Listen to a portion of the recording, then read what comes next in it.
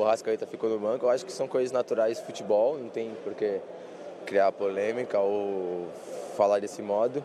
Mas creio eu que a gente tem muita qualidade ali na frente, a gente pode se movimentar. Eu parei do lado esquerdo, depois o Bruno foi pro lado direito, o Rascaeta por dentro, o Ribeiro movimentando também. Então eu acho que a gente tem muitas coisas para fazer, independente de quem jogue. Eu acho que o importante é o Flamengo estar tá, tá bem. No último jogo que o Diego jogou titular foi 6 a 1 hoje conseguimos ganhar de 2 a 0 eu acho que isso mostra a, a força do elenco do Flamengo. O Henrique fez dois gols valendo, fez três, mas dois válidos, assumiu a artilharia do Carioca, só que você tem mais um jogo para tentar reverter essa situação. Vai ficar nessa briga? Nada, nada, eu quero ser campeão, eu sempre falei isso. Eu acho que a gente está tá, tá pitando muito bem aqui no Flamengo, as coisas estão correndo como a gente queria.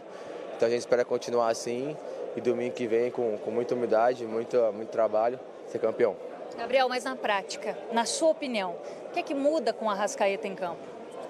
A gente, tem, a gente tem jogadores de muita qualidade, é difícil a gente falar o que ganha, o que perde. Eu acho que os dois têm características diferentes. Eu acho que o Rascaeta é um cara mais agudo, o Diego é um cara que segura mais a bola, mas também tem uma qualidade que não precisa ser, falada. É, eu acho que a gente tem que fazer isso mesmo, tem que criar opções, jogar de maneira diferente, vários jogos e confundir o adversário, que é, que é quem ganha é somente a gente. E Gabriel, pelo número de opções que o Flamengo tem, de jogadores mesmo, é normal é, é um, um, cara que de repente é um medalhão, é um cara que, enfim, é uma estrela ficar no banco? É, eu acho que acontece, eu acho que eu já fiquei também quando eu cheguei, o Bruno ficou, o Rascaeta ficou. Eu acho que e também ele não pensa nisso, nós não pensamos nisso, pensamos somente no Flamengo e bem. Quando ele entrou, ele foi, foi super bem, deu uma arrancada de que eu brinquei com ele, que, que o velhinho tá bem ainda. Então eu acho que a gente tem que continuar assim, todos jogando em prol do Flamengo.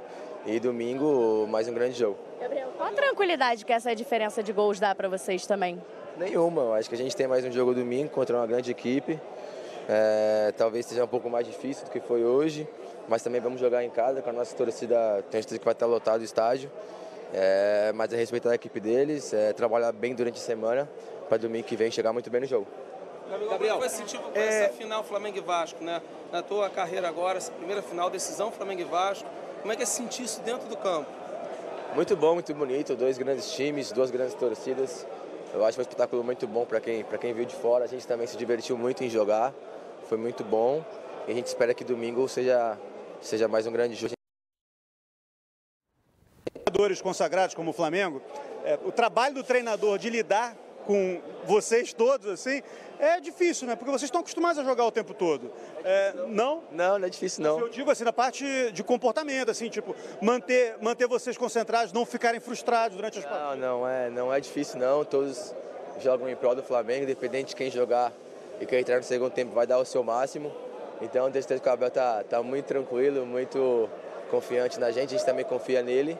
E quem jogar vai dar sempre o máximo, e quem entrar no segundo tempo também vai dar sempre o máximo que pode resolver o jogo pra gente. Quando você estava saindo de campo, eu vi que o Abel falou assim: vai sair você para entrar o Vitinho. Você falou assim: logo agora, treinador? Logo agora? Oh, quero logo agora? Não, todo mundo quer jogar, todo mundo quer fazer gol, mas eu acho que é importante é mesmo é o Flamengo vencer. A gente venceu, independente de quem entra e quem sai, o importante é o Flamengo vencer.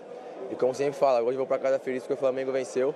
Então é continuar assim, trabalhar bem durante a semana, para domingo que vem a gente conseguir, com muita humildade, muito trabalho, ser campeão. Tá aí a palavra do Gabriel.